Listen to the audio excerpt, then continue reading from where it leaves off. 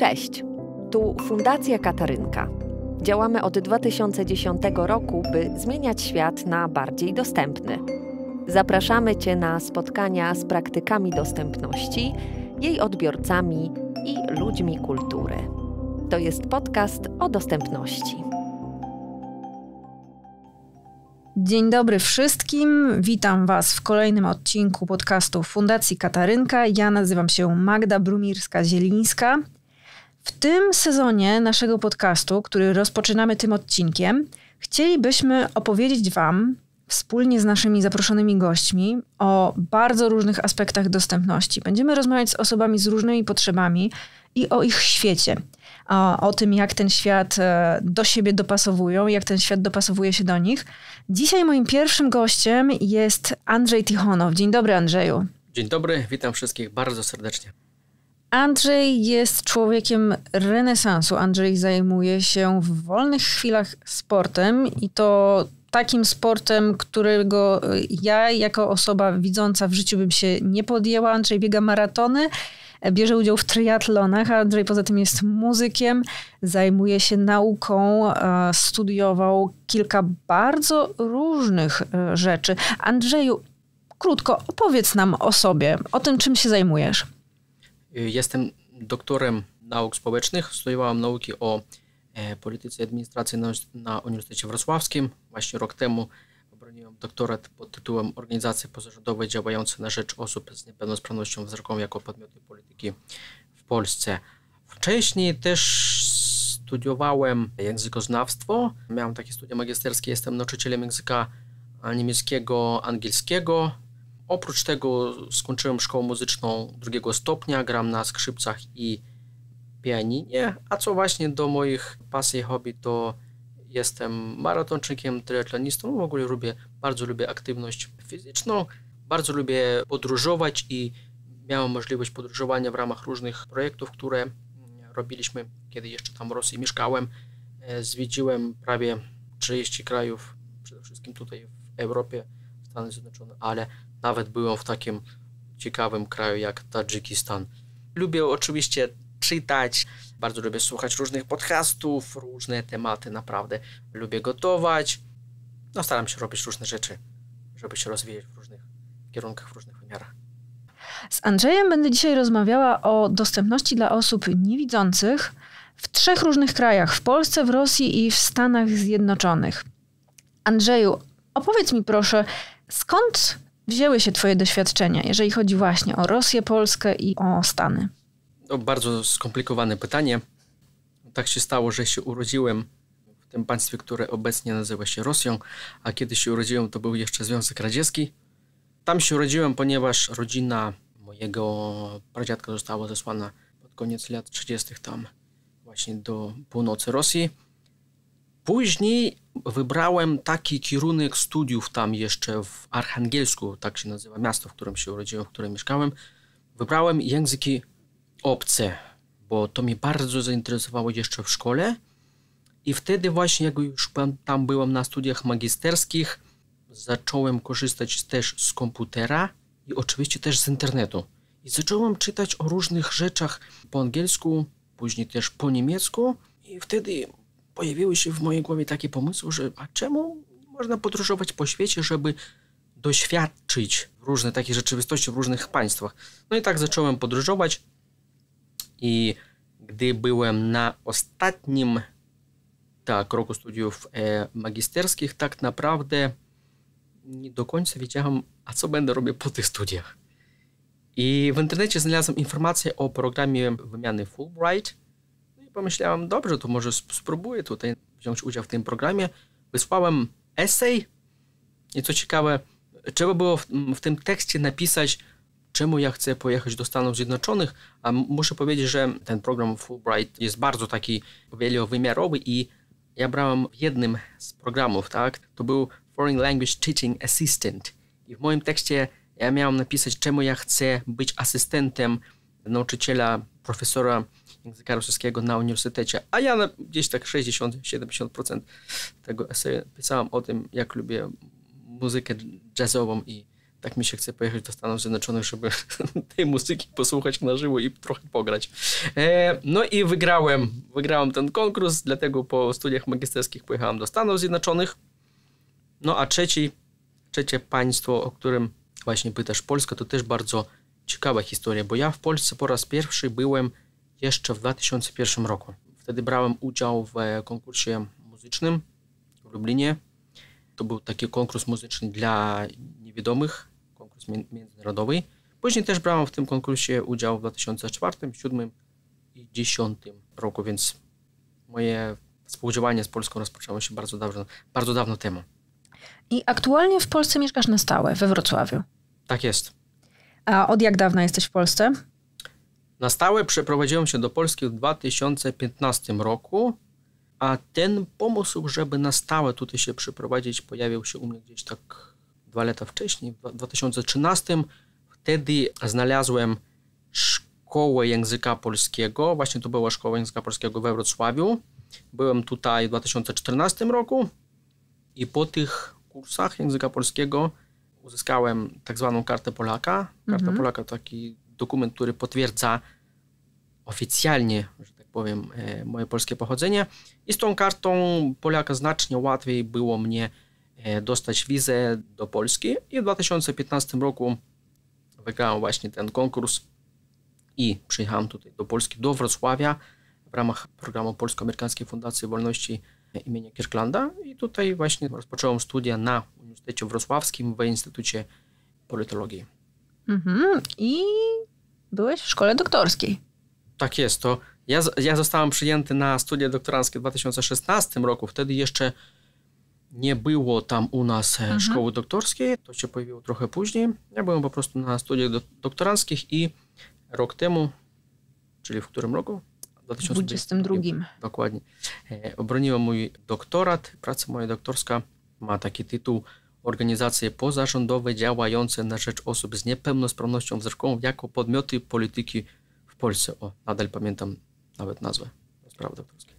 Andrzeju, ty masz doświadczenia, jeżeli chodzi o edukację powszechną, edukację wyższą w trzech krajach, na wszystkich chyba możliwych poziomach. Chciałabym, żebyśmy zaczęli od absolutnych podstaw. Ty jesteś osobą niewidzącą od, przypomnij mi, od urodzenia?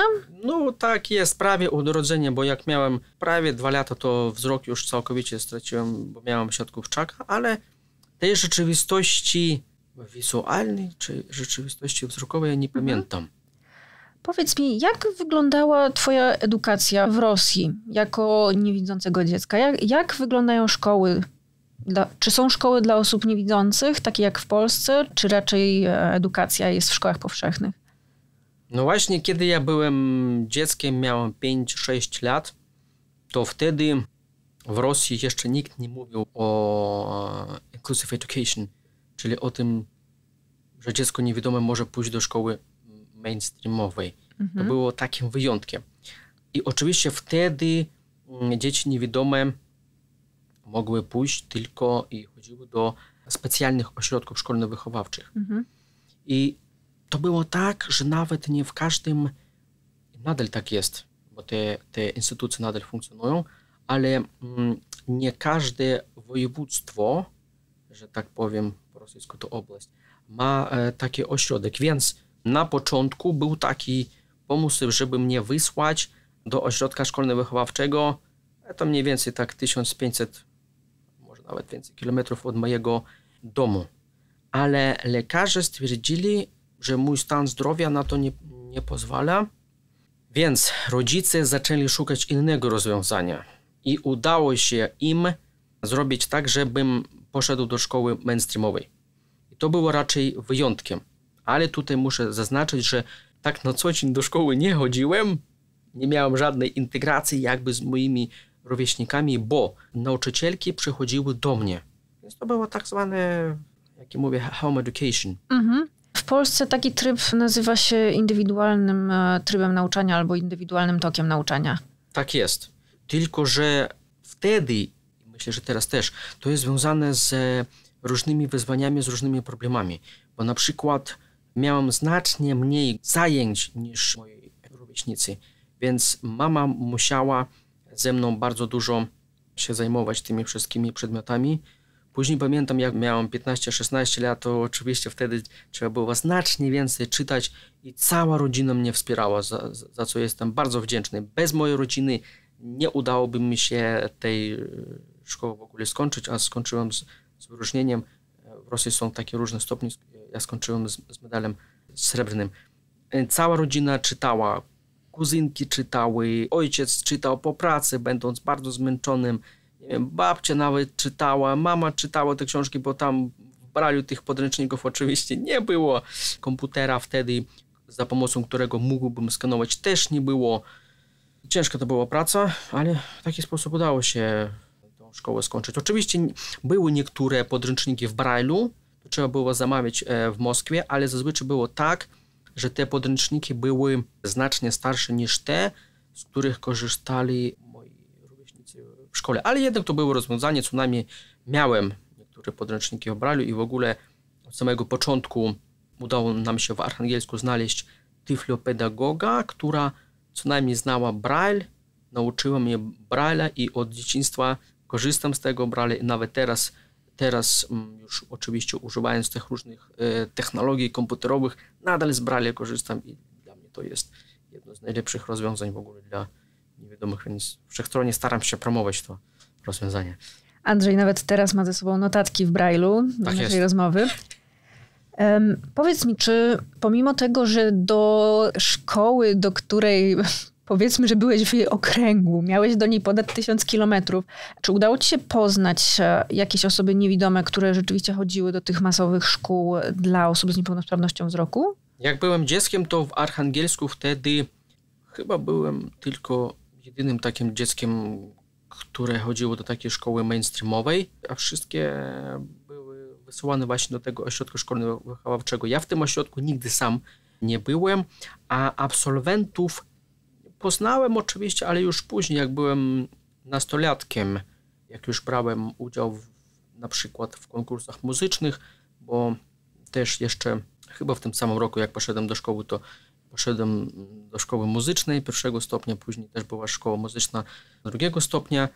No i biorąc udział w różnych festiwalach, konkursach właśnie miałem taką możliwość, żeby poznać moich rówieśników niewidomych, no i też dzieci z innymi niepełnosprawnościami. A czy na podstawie właśnie tego, co wiesz od tych absolwentów e, z Rosji i od osób z Polski, czy, mm, czy wiesz o jakichś wyraźnych podobieństwach albo różnicach pomiędzy właśnie tym systemem edukacji w Polsce i, i w Rosji? No, główne podobieństwo jest takie, że te ośrodki szkolne wychowawcze funkcjonują zarówno w Rosji, jak i w Polsce. Później, jak w Rosji tam koniec lat 90., początek lat 2000, zaczęło się rozwijać bardziej tak zwane, jak ja mówię, to home, home education, tak, ten tryb indywidualny, więc więcej dzieci niewidomych mogło i teraz może w takim trybie e, studiować. Podobieństwa. Dobre pytanie, bo sam w tych ośrodkach szkolnych wychowawczych nigdy się nie uczyłem, ale podobieństwa oczywiście są. Jednym z takich może głównych problemów jest to, że często absolwenci tych ośrodków nie do końca może wiedzą, czy mogą się zajmować w przyszłości, czy poziom edukacji w tych ośrodkach nie jest taki, na takim wysokim poziomie, żeby później można było pójść na studia wyższe. Może się mylę. I oczywiście tutaj wszystko zależy od podmiotowości konkretnej osoby, ale bardzo często taki problem obserwuję. I, też na przykład w Rosji jeszcze to było, rozmawiałam z absolwentami tych ośrodków szkolnych wychowawczych, opowiadali na przykład, jaka tam była sytuacja w latach 70., latach 80., wtedy naprawdę tam dochodziło do dyskryminacji, do takich różnych bardzo przykrych sytuacji. Teraz mam nadzieję, że sytuacja wygląda lepiej i też muszę powiedzieć, że w Rosji jest wielka różnica pomiędzy ośrodkami które znajdują się na przykład w Moskwie czy w Petersburgu, a tymi, które się znajdują gdzieś tam na, na Syberii. W Moskwie byłem w jednym z ośrodków szkolnych wychowawczych. Tam naprawdę na bardzo wysokim poziomie są prowadzone różne zajęcia. Absolwenci później idą na studia wyższe, studiują na moskiewskich uczelniach, a tam poziom wykształcenia co najmniej kiedy tam byłem, to był bardzo wysoki. Więc to jest naprawdę wielka różnica pomiędzy tym, jak to proces się toczy w Moskwie, Petersburgu i w mniejszych miejscowościach. Jak Twoim zdaniem w tej chwili wygląda dostępność w Rosji? Czy na przykład osoba niewidząca może skorzystać z filmu albo z oprowadzania muzealnego z audiodeskrypcją? No i znowu muszę powiedzieć, że sytuacja tutaj wygląda bardzo różnie w dużych miastach i mniejszych miejscowościach. Ja pamiętam, że w tym mieście, którym mieszkałem w Archangelsku, nigdy nie byłem na pokazie filmu z audiodeskrypcją w kinie. I jak się nie mylę, nadal, nadal tego tam nie ma. Na przykład jak tutaj we Wrocławiu się robi, że raz w miesiącu, teraz nawet częściej można pójść do, do kina i tam w taki sposób film obejrzeć. Oczywiście tam robią takie próby, ale wtedy jakby osoba na żywo robi tą audiodeskrypcję i wtedy po prostu takie pokazy są dla jakiejś mniejszej grupy. To jeżeli chodzi o audiodeskrypcję w muzeach, teraz robię taką pauzę, bo próbuję sobie przypomnieć, czy ja byłem w jakimś muzeum w Rosji, mając audiodeskrypcję.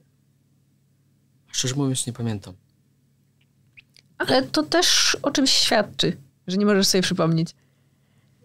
Byłem w Moskwie, w Petersburgu, jak tam przyjeżdżałem, to zawsze starałem się właśnie do muzeum wchodzić, ale tego właśnie nie pamiętam. Myślę, że teraz e, właśnie Moskwa, Petersburg, coś tam w tym kierunku się dzieje, ale po raz pierwszy tak naprawdę miałem doświadczenie z audiodeskrypcją w muzeach, z audiodeskrypcją w kinach, to w Polsce, we Wrocławiu i pamiętam jak po raz pierwszy specjalnie robiłem takie wyjazdy na przykład do Warszawy, gdzie zwiedzałem muzej, spędzałem tam 5-6 godzin właśnie słuchając audiodeskrypcji, to dla mnie było naprawdę niesamowite doświadczenie. Tak próbuję sobie przypomnieć, to oglądałem po raz pierwszy filmy z audiodeskrypcją w Stanach Zjednoczonych jeszcze w 2008 roku. A co do filmów z audiodeskrypcją, wiem, że w Rosji jest taki, taka strona internetowa, na której można znaleźć e, takie filmy, ale jest ich tam naprawdę za mało. Przejdźmy może teraz do tej kwestii studiowania. Ty masz za sobą studia magisterskie w Rosji, masz za sobą stypendium Fulbrighta, masz za sobą studia doktoranckie w Polsce. Trzy bardzo różne sposoby studiowania, bardzo różne systemy studiowania. Powiedz mi, jakie są Twoim zdaniem największe różnice w studiowaniu w Rosji, w Polsce i w Stanach Zjednoczonych? Różnice są znaczące. Ja na przykład pamiętam, jak ukończyłem studia magisterskie w Rosji, Pomorski Государственный Uniwersytet, jak przyjechałem do Stanów Zjednoczonych, to byłem po prostu zszokowany. I to się zaczęło jeszcze wcześniej, bo jeszcze jak byłem w Rosji, przyjechałem do Stanów w sierpniu, a już w marcu, w kwietniu ze mną skontaktował się uniwersytet i już mnie zapytali, jakie mam potrzeby, jakiego wsparcia bym oczekiwał tam na uniwersytecie i wtedy miałem nawet problem z tym, żeby na to pytanie odpowiedzieć, bo nie miałem żadnego pojęcia, a jakie wsparcie w ogóle może e, uczelnia wyższa zaoferować, bo w Rosji oczywiście na moim uniwersytecie mm, żadnego wsparcia nie było, żadnego wtedy. Teraz sytuacja wygląda trochę lepiej i wiem, że moi byli uczniowie, bo ja później tam w Rosji pracowałem jako nauczyciel języka angielskiego w szkole, tam studiują, sytuacja wy wygląda lepiej, ale wtedy, 2002 rok, to tam nawet nikt nie słyszy. Ja w ogóle byłem pierwszą osobą niewidomą, która została przyjęta na studia magisterskie na tamtym uniwersytecie i muszę tutaj powiedzieć, że w ogóle miałem wielki problem z tym, żeby te studia rozpocząć, bo pierwsze spotkanie z dyrektorem instytutu pani powiedziała, pan tutaj studiować nie będzie. Nie da pan rady, no osoba niewidoma, uczyciel angielskiego, niemieckiego, w naszym prestiżowym instytucie nie, nie, nie. I wtedy właśnie musiałem walczyć nawet o to, żeby zostać przyjętym. Jak już mówiłem, szkołę skończyłem z wyróżnieniem, więc tam było wszystko ok i musiałem, przeprowadzaliśmy rozmowy z Ministerstwem Edukacji, tam w Archangelsku udowadnialiśmy, że osoba niewidoma w ogóle może podjąć studia magisterskie, etc., etc. To wszystko się udało. Więc tak tam dostępność wyglądała wtedy. No i jak już powiedziałem, przyjechałem do Stanów Zjednoczonych, no i w szoku bo na przykład od pierwszego dnia mojego pobytu tam miałem zajęcia z instruktorem orientacji przestrzennej, bo studiowałem na Michigan State University, stan Michigan. Miasto się nazywa East Lansing. To jeden z największych uniwersytetów w ogóle w Stanach Zjednoczonych. Wtedy tam było 50 tysięcy mniej więcej e, studentów. Na tamtym uniwersytecie funkcjonuje takie specjalne biuro do spraw osób z niepełnosprawnościami i dostałem tam właśnie zajęcia z instruktorem orientacji przestrzennej. Przez cały miesiąc, może nawet dłużej, mieliśmy takie zajęcia, pokazał mi cały kampus. Nauczyłem się tras w ogóle z akademika do różnych wydziałów i tak dalej.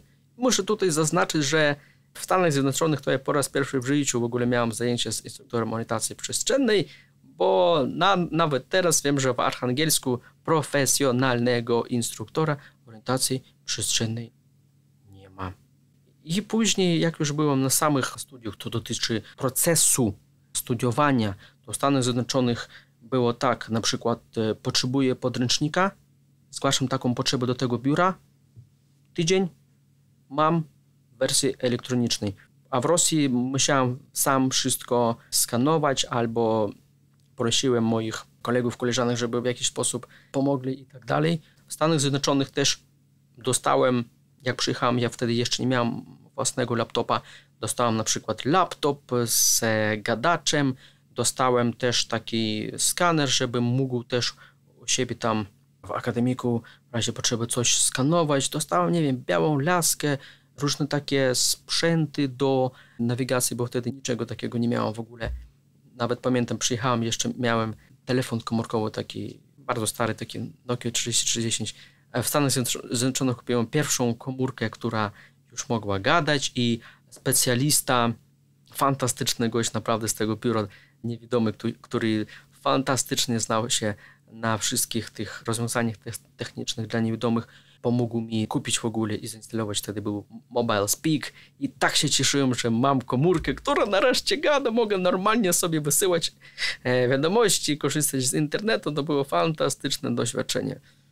No i w Stanach Zjednoczonych byłem asystentem profesora właśnie języka rosyjskiego, czyli uczyłem języka rosyjskiego, będąc native speaker. Właśnie to jest jeden z celów tego programu Foreign Language Teaching Assistant Program, żeby właśnie native speakers przyjeżdżali do Stanów Zjednoczonych. No i również miałem różne zajęcia na uniwersytecie, czyli mogłem brać udział po prostu w tych e, zajęciach i wybrałem sobie przedmioty związane z nauczaniem języków obcych, przedmioty związane z lingwistyką, językoznawstwem i oczywiście dali mi taką możliwość. E, chodziłem do, jak on się nazywał teraz, nie pamiętam, Instytut e, muzyki, może jakoś tak. Miałem tam zajęcia związane z historią, jazz music, miałem zajęcia związane w ogóle z improwizacją. I później też wybrałem taki przedmiot terapia muzyczna. Też bardzo ciekawe doświadczenie. I gdy już program trwał do końca kwietnia 2009 roku, próbowałem kilka razy, e, składałem wnioski, bo chciałem w Stanach Zjednoczonych zostać, chciałem rozpocząć studia magisterskie. To mi się nie udało. No i byłem bardzo smutny, że ze Stanów Zjednoczonych e, wyjeżdżam, że wracam do Archangelska, bo wiedziałem, co tam na mnie czeka. To jak było, kiedy zacząłeś studiować w Polsce, już po, też po jakimś czasie mieszkania tutaj, z tego co pamiętam? Tak, bo w Rosji, e, jak wróciłem z tych Stanów, pracowałem i jak już mówiłem, w ramach działalności różnych organizacji pozarządowych, wtedy to było możliwe, wyjeżdżaliśmy do państw, przede wszystkim e, skandynawskich, więc też mam doświadczenie na przykład jak osoby z niepełnosprawnościami funkcjonują w Finlandii, Norwegii, e, Danii, e, Szwecji. Chciałem rozpocząć studia gdzieś w innym państwie, składałem wnioski też pamiętam do Szwecji na przykład, chciałem tam zająć się muzyką. Składałem wnioski do Niemiec, składałem wnioski do Stanów Zjednoczonych, do Wielkiej Brytanii. No i wiadomo, te konkursy są bardzo takie wymagające.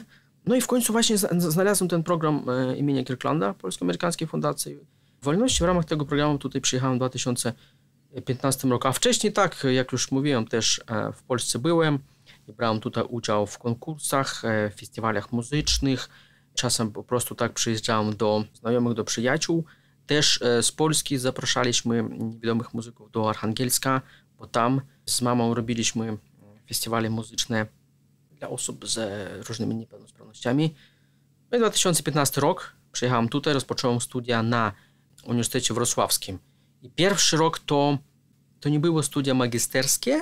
Celem tego roku akademickiego było napisanie pracy naukowej w ramach tego programu. I pisałem pracę o takim ciekawym zjawisku jak lobbying. Takie tutaj już tematy stricte polityczne. I będąc w ramach tego programu, już postanowiłem, że muszę zrobić wszystko, żeby zostać na Uniwersytecie Wrocławskim na e, studiach doktoranckich. No i to się udało. Zostałem przyjęty na te studia i porównując właśnie jak wyglądają studia i ta dostępność dla studentów, doktorantów niewiadomych no, w Rosji, w Stanach Zjednoczonych i w Polsce, mogę powiedzieć tak, że oczywiście porównanie to zawsze taki proces wielowymiarowy, złożony, ale w Stanach Zjednoczonych było pod tym względem the best, czyli tam było najlepiej.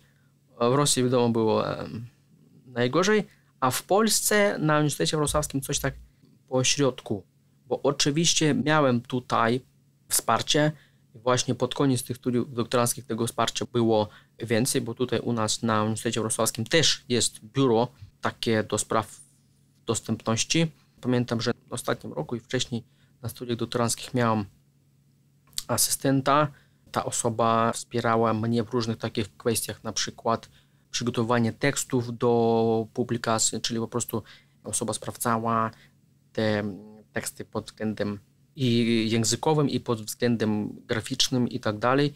Ale powiem, że tutaj na Uniwersytecie Wrocławskim też zdarzały się różne takie problemy techniczne związane e, z dostępnością. No na przykład jako doktorant miałem taką możliwość ubiegania się o różne stypendia na uniwersytecie.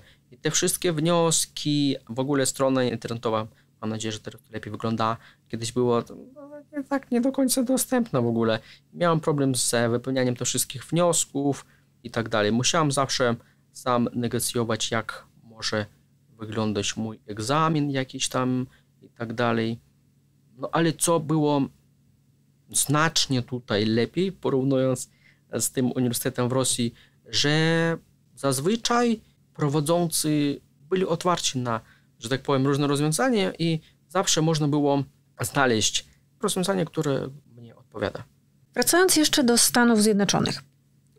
Z Twojego doświadczenia, i to nie tylko właśnie związanego ze studiowaniem, ale też z takim codziennym życiem, w Stanach dostępność, Twoim zdaniem, jest już e, rzeczą systemową, jest ogólnie dostępna, czy to jednak jest coś, czego trzeba się ciągle dopraszać, wnioskować, prosić, grozić pozwami?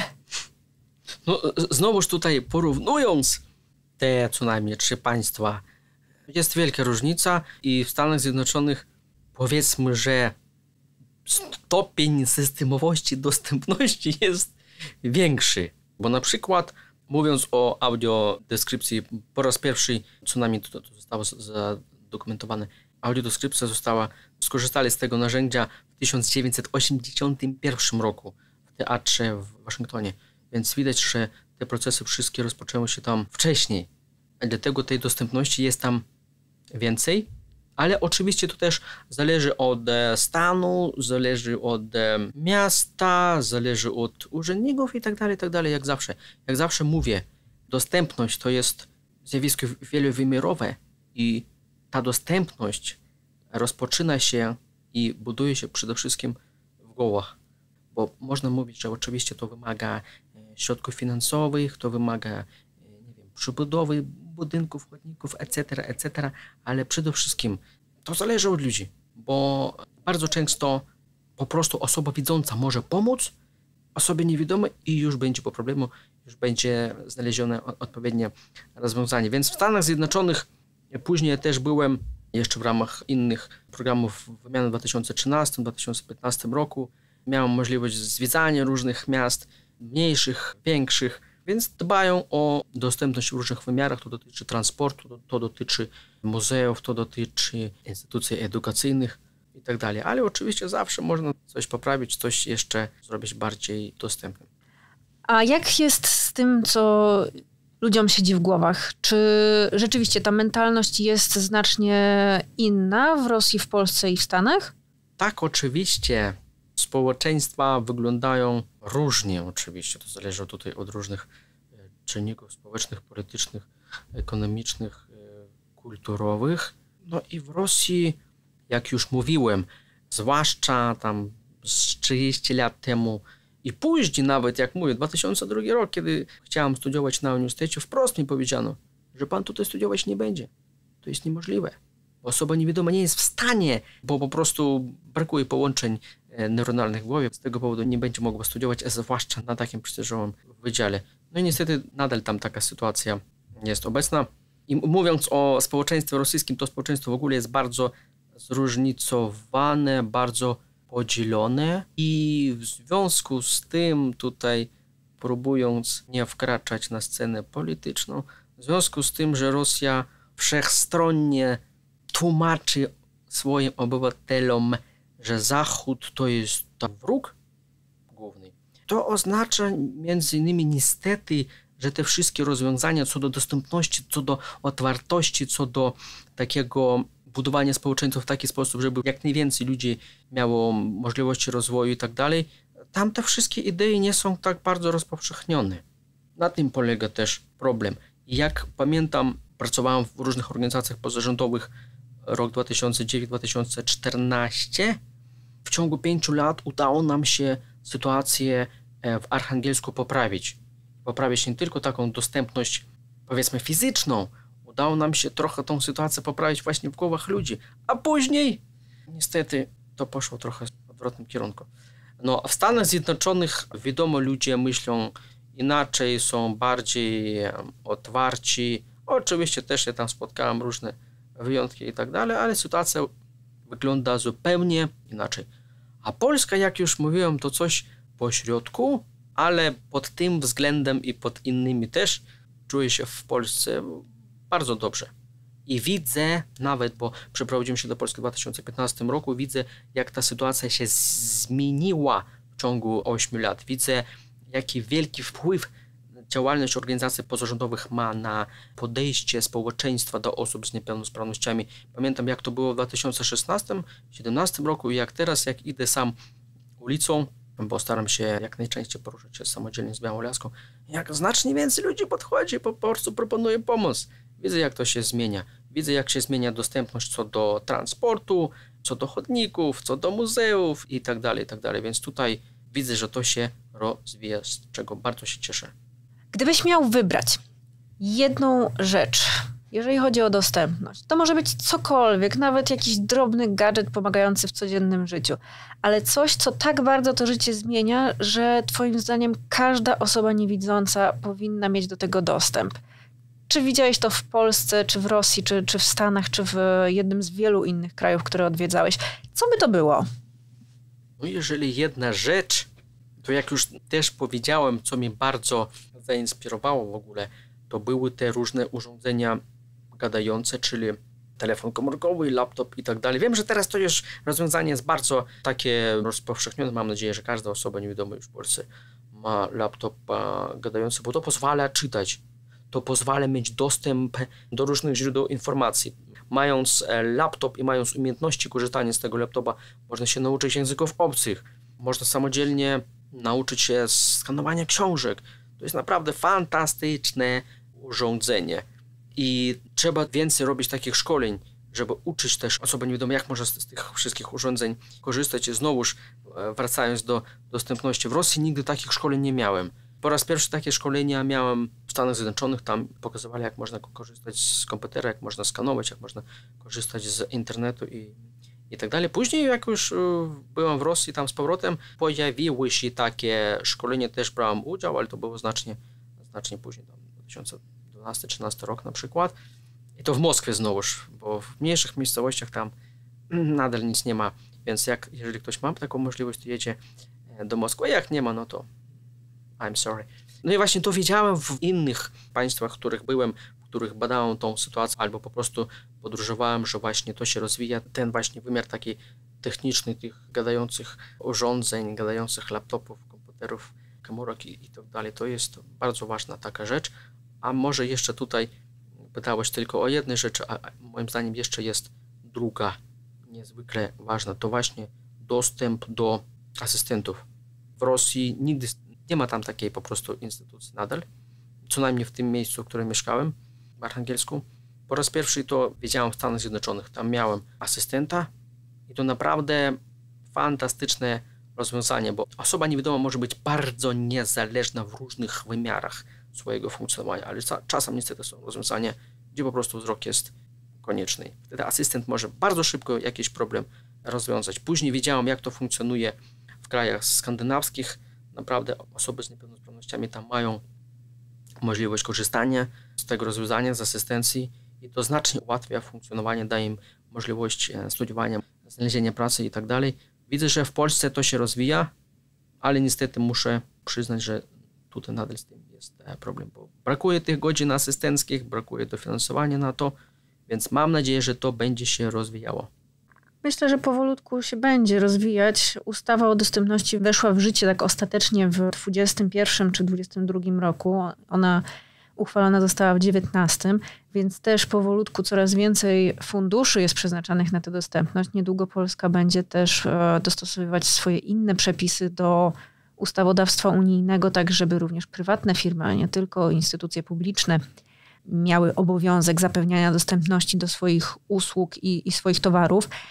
Więc myślę, że, że powoli do przodu. Zresztą sam powiedziałeś, że widzisz tę poprawę, ten postęp. Tak jest, tak jest. Nawet na przestrzeni 8 lat widzę te zmiany i bardzo się cieszę, że Wrocław się rozwija. Ja będąc na studiach brałem udział w różnych konferencjach, więc po całej Polsce podróżowałem na różnych uniwersytetach, byłem, widzę, widzę, że jest postęp, ta dostępność staje się coraz bardziej dostępna. Moi drodzy, czas, który mamy na dzisiejsze spotkanie, powoli nam się kończy. Dlatego, Andrzeju, bardzo serdecznie dziękuję Ci za dzisiejszą rozmowę. Moim rozmówcą był Andrzej Tichonow, sportowiec, naukowiec, e, muzyk, e, socjolog, człowiek naprawdę ogromnej liczby talentów. Mam nadzieję, że kiedyś wrócimy do tej rozmowy. Może za kolejne 8 lat, po kolejnych Twoich podróżach po świecie. Bardzo jestem ciekawa, czy te nasze myśli o Stanach, o Polsce, czy coś tu się jeszcze bardziej zmieni? Czy w Rosji będą postępy? Zobaczymy, co przyniesie czas. Tak jest. Dziękuję Ci, Andrzeju, bardzo serdecznie. Bardzo dziękuję za zaproszenie do udziału w tym podcaście. Do zobaczenia, do usłyszenia. Jeśli chcesz dowiedzieć się więcej na temat dostępności, zacząć działać albo sprawdzić inne tematy, które poruszamy w podcaście, znajdziesz nas na Spotify lub w innym miejscu, w którym słuchasz podcastów, na YouTubie czy stronie www.kulturadlawszystkich.pl. Nasze podcasty mają transkrypcję, gdybyś chciał polecić je osobie słabosłyszącej. Link znajdziesz w opisie podcastu. Polecamy Ci także strony www.fundacjakatarynka.pl i www.adapter.pl, czyli pierwszy portal filmowy z audiodeskrypcją, napisami i tłumaczeniem na polski język migowy. Zadanie jest współfinansowane ze środków PEFRON otrzymanych od Urzędu Marszałkowskiego Województwa Dolnośląskiego z siedzibą we Wrocławiu.